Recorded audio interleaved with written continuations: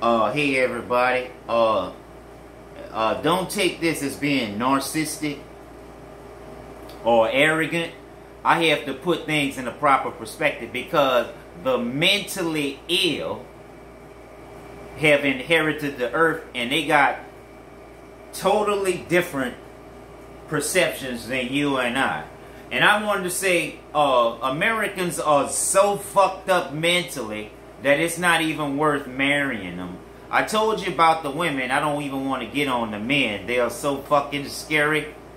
And uh, but but the main thing that I wanted to say on this recording is somebody in Louisiana tell me that I'm not the best landscape photographer in the state of Louisiana. And somebody fucking tell me that I'm not the one of the top landscape photographers in the Hall of Fame in America. Some fucking body tell me that. You know what? You ain't got the fucking balls to say it because y'all know it's true. And so step the fuck out my way when I'm trying to accomplish something because all y'all niggas doing is is copying off of me, stealing my motherfucking draft, neglecting me so I can't take care of my motherfucking families. And by the way, remember what I said about you moguls. You niggas got millions and billions of dollars, can't stop a riot, can't get shit done. You know what I'm saying?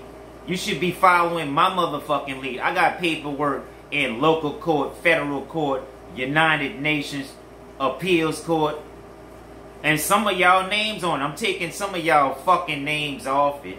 And I don't give a fuck if they liquidated. Somebody gonna fucking pay me. And if they don't pay me in monetary denominations, they gonna fucking pay me in blood, motherfucker. And but but in the meanwhile, some fucking body in Louisiana tell me that I'm not the best landscape photographer in the state.